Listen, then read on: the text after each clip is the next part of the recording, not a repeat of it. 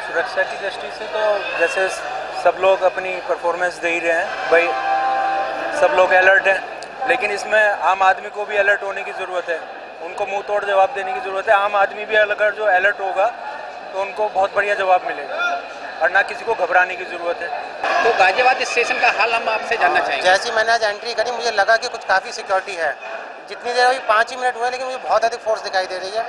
बाकी रियली हाँ पुलिस काफ़ी एक्टिव दिख रही है। गाजियाबाद रेलवे स्टेशन या, या बहुत बहुत हाँ बहुत काफ़ी दिख रही है ये अभियान जो है आईबी अलर्ट को ध्यान में रखते हुए जो आतंकवादी संगठन है, उन्होंने जो धमकी दी है और जो अलर्ट हमें मिला है कि कुछ भी गतिविधि वो कर सकते हैं, उसको ध्यान में रखते हुए हमने अफेक्टेड ट्रेन और संदिग्धों की पहचान कर उनको जो है चिन्हित कर हम चेक कर रहे हैं।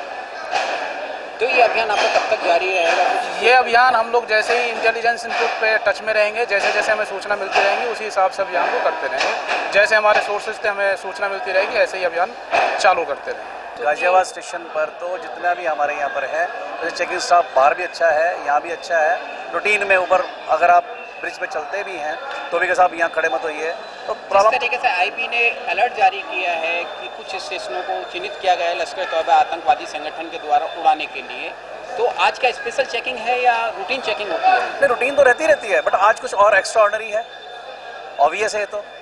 भैया जब इंसान अलर्ट कब होता है? जब उसे पता है कि अब तूफ़ान आने वाला है तभी तो भागेगा ना वो। उससे पहले क्यों भागेगा वो? तो आज ये आरपीएफ की जो कार्रवाई आप देख रहे हैं स्टेशन पे बिल्कुल सही है। हाँ सेटिस्फैक्ट्री है। अच्छी है ओ यस